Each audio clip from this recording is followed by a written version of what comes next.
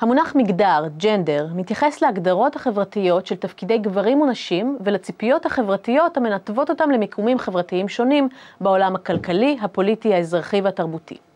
המבט המגדרי מצביע על האופנים שבהם ההסדרים החברתיים הללו מפרידים בין נשים וגברים ומייצרים אי שוויון ביניהם. כדי לחשוף את המנגנונים המכוננים אי שוויון, יצר שוות, המרכז לקידום נשים בזירה הציבורית, את מדד המגדר, הכולל שורה של מדדים לבחינת אי השוויון בין גברים לנשים.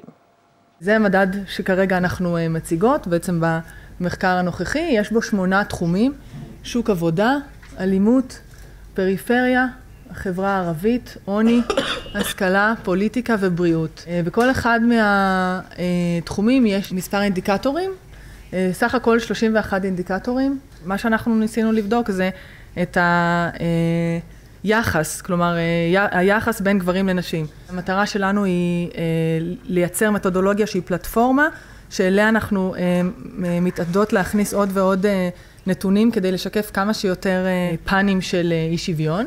הכוח והאיכות של הדת שלנו זה שנשים מחליטות מה יימדד וכיצד יימדד, היינו שהן תגדנה מה הדבר הרלוונטי להם ומה הדבר שמגדיר את ניסיון חייהן. ממדד המגדר עולה כי שיעור המשכילות השתווה ב-2011 לשיעור המשכילים, דבר המעיד, על פי כותבות הדוח, על רצונן של נשים להשתתף השתתפות מלאה במרחב הציבורי. בכל המדדים האחרים שנבחנו, יש עדיין פערים משמעותיים בין גברים לנשים.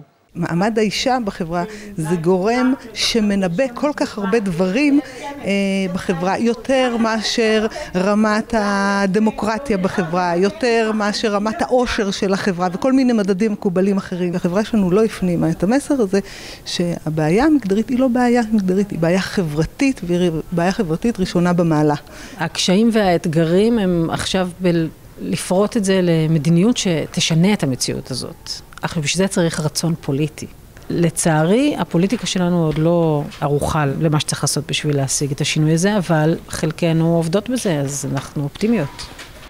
את מדד המגדר פיתח צוות שוות, המרכז לקידום נשים בזירה הציבורית, במכון ון ליר בראשות פרופסור נעמי חזן ופרופסור חנה הרצוג.